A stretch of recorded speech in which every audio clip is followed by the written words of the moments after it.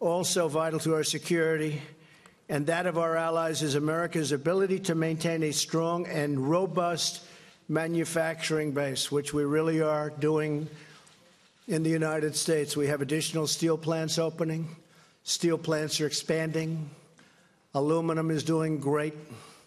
A lot of things are happening that were never going to happen before. That's why we must have a fair and reciprocal trading relationship with our friends and partners.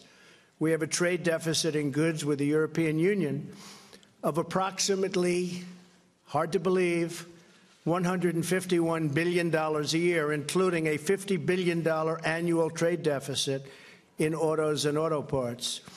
I'm committed to working with Chancellor Merkel to reduce barriers for United States exports to remedy these trade imbalances and deepen our economic ties. We also welcome the Chancellor's partnership in promoting major reforms to international organizations like the World Trade Organization, which has not treated the United States well to protect sovereignty and ensure fairness.